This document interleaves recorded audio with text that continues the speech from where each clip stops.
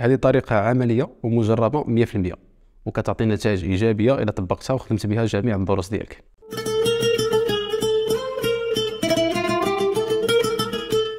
مرحبا بكم أعزائي التلاميذ في هذه الحلقة هذه اللي كنقدموا لكم فيها مجموعة من النصائح فيما يخص الدراسة واللي كتوافق هذا الموسم ديال أو هذا الشهر ديال رمضان المبارك. فبزاف ديال التلاميذ كيتجمعوا عليهم بزاف ديال الدروس خاصة يعني المواد اللي كتطلب الحفظ المواد الأدبية ولا أي درس فيه بزاف ديال الكتبة. غادي نوريك اليوم الطريقة الصحيحة اللي غادي تلخص فيها هذا الدرس هذا. دونك هاد الطريقة بزاف ديال التلاميذ اللي عارفينها اللي كتسمى الخرائط الذهنية ولا الخرائط المفاهيمية. اليوم غادي نجيب لكم واحد المثال عملي ديال كيفية إنجاز هاد الخريطة الذهنية. الخريطة الذهنية هي واحد الأسلوب مبتكر للتعبير على الأفكار ديالنا عن طريق واحد المخطط كنرسموه. فهذا المخطط هذا كيكون مرفوق بنصوص صور رموز ورسوم تخطيطية. هذه الخريطة الذهنية كتمكننا من قراءة الأفكار ديالنا وكتمكننا يعني هذه الطريقة هذه من قراءة المعلومة بطريقة اللي هي سهلة بالدماغ ديالنا كامل يعني بفصيه الأيمن والأيسر. وهكا يمكن المعلومه ترسخ في الدماغ ديالنا لواحد المدة طويلة كتزيد من الكفاءة ديال التعلم. فباش نرسم هذه الخريطة المفاهيمية خصني ثلاثة ديال العناصر الأساسية. أول حاجة هي ورقة بيضاء وأقلام ملونة. ثاني حاجة وهي الكتاب ولا الدفتر اللي غادي ندير تلخيص انطلاقا منه.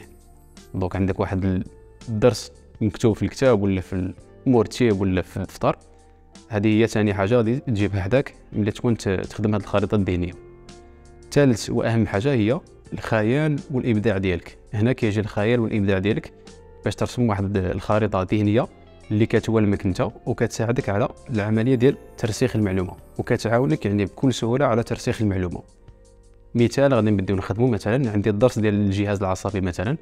تحط حداك يعني le cours ديالك ديال le système nerveux في الوسط غادي تكتب العنوان الكبير ديال الدرس اللي هو le système nerveux منه غادي تخرج دوك العناصر الكبيرة اللي درتو في الدرس. اولا كبيرة ثانية كبيرة إلى آخره.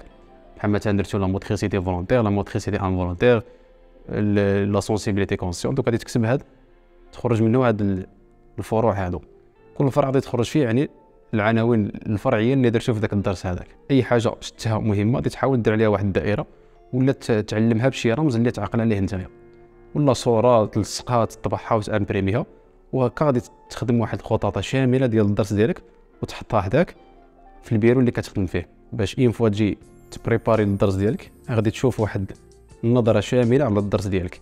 وهكا يمكن لك عندي بسرعة.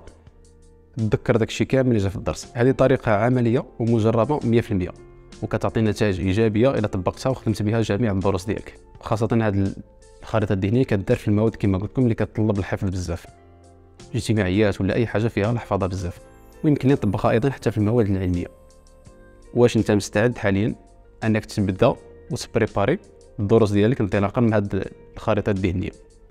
كتبوا لي في التعليقات الإجابات ديالكم. إلى بقيت كما العاده التفاعل في هذه السلسلة غادي نحاول نزيد معكم حلقات أخرى. نتوما اللي غادي تقترحوا لي الموضوع اللي غادي نخدموا عليه كتبوا لي في القناه ديال التعليقات. donc دوزو بخير.